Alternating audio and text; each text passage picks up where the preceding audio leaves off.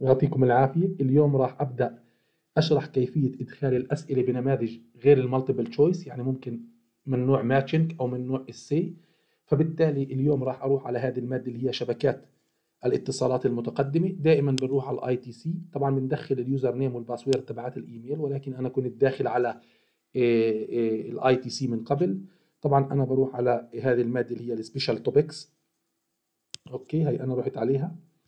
إيه لما أروح على مادة ال special topic باجي على كلمة more على العجل هذا مهم العجل دائما باجي على كلمة more. لما آجي على كلمة more بكبس كلمة questions. هيات أنا كبست كلمة questions.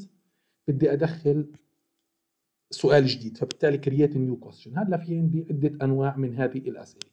من الأنواع اللي دخلناها إحنا ال multiple choice ولكن اليوم أنا بدي أحكي عن ال essay question فأنا بكتب essay question وبحط كلمة add طبعا هين النظام نفسه ما بيصلحه هذا النوع من الأسئلة لأنه في كتابه طالب طبعا أول شيء ال question name بنحط مثلا ال question رقم واحد.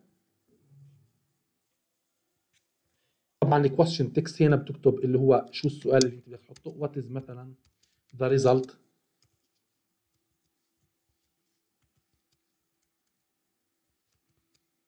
of. خمسة زائد خمسة هي السؤال اللي أنا حطيته. طبعا بنخلي الطالب هنا هل هو بدك feedback ما بدناش feedback نحطها. كيف بدك الطالب يدخل إيه الجواب تاعه؟ لأنه هذا ال essay question هل بدك تخليه يعمل attachment ل file ولا بدك تخليه يكتب في text إحنا في هنا إيه طريقة الجواب. يا إما بتخليه HTML editor يعني بفتح له box زي هذا ال box بكتب فيه زي هذا ال box أو أنت بتخليه لا يعني مثلا هو no online text يعني ما تخلوش تكتب اونلاين بدك تخليه يعمل attachment هنا بقول لك allow attachments يعني أنت بدك تخليه يعمل attachments. ممكن تقول له yes number of attachment واحد اثنين unlimited مثلا one attachment.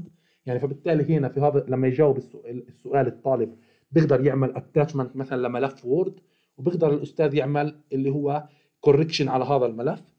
أنا دائما لما أحط ال essay question بخليهم يكتبوا عن طريق HTML editor. يعني بفتح لهم box يكتبوا فيه ولكن بخليهم مش يكتبوا 15 lines بخليهم يكتبوا فقط لا غير 5 lines بديش أنا يسهموا في الكتابة بشكل كبير ولكن أنت بتقدر إنك تحدد لهم يكتبوا 5 lines 6 10 lines 15 line إحنا هنا برضه سمحنا لهم ال attachment برضه أنت بتقدر ما تسمح لهم ال attachment عن طريق no no. أنا سمحت له ال attachment سمحت له يكتب وسمحت له ال attachment عادة نسمح واحدة فيهم.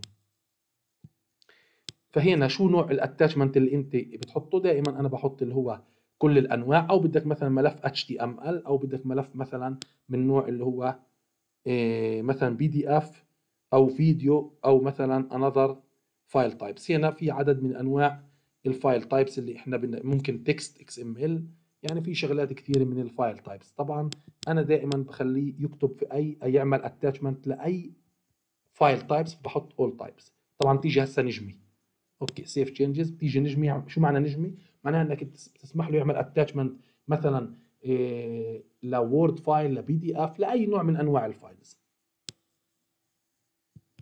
فهنا بنحط save changes فصار هنا السؤال موجود فبقدر أعمل له preview فأنا باجي بعمل preview بشوف السؤال. طبعا هيات إحنا السؤال what is the result وبسمح له يكتب خمس أسئلة زي ما إحنا سمحنا له. وبعدها إيه إيه إيه بيقدر يعمل attachment الطالب. بيقدر يعمل attachment من هنا يعمل attachment ل file من هنا بيقدر يعمل attachment ويبعث لك إياه وأنت تصححه. فبالتالي هذه هي الطريقة اللي إحنا بنحط فيها ال essay questions. هذه هي الطريقة اللي بنحط فيها ال essay questions. طبعا الطريقة إحنا بدنا نضيف question add create a new question. في عندي شيء بسميه ال matching.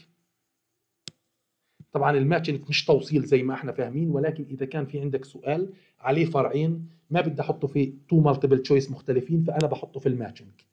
هيات matching.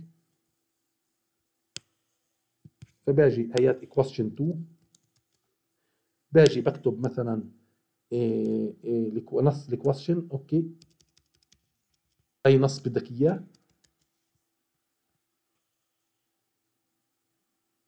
وباجي هين بحط اللي هو طبعا هنا بحط السؤال الرئيسي. طبعا قلت لكم ال matching مش معناها توصيل معناها إنه في سؤال رئيسي وفي عليه مجموعة من الأسئلة الفرعية. فبالتالي أنا هي السؤال الأول وبحط ال answer وهي السؤال الثاني وبحط ال answer هي السؤال الثالث وبحط ال answer وهيك بكون أنا عملت اللي هو إيه إيه إيه هيك أنا بكون عملت سؤال متعدد الأسئلة. هيك أنا بكون عملت سؤال متعدد الأسئلة. هين أنا بكون عملت سؤال متعدد الأسئلة. ودائما بعمل كلمة shuffles مشان حتى الأسئلة إذا كان في عندي سؤال رئيسي وعليه مجموعة من الأسئلة أنا بعطيهم بطريقة مخربشة. فهذا هو ال matching. ال matching مش معناها إنه أنا بدي أوصل ولكن في سؤال رئيسي وعليه مجموعة من الأسئلة الفرعية. يعطيكم ألف عافية وهذول طريقتين لعمل الأسئلة غير المالتيبل تشويس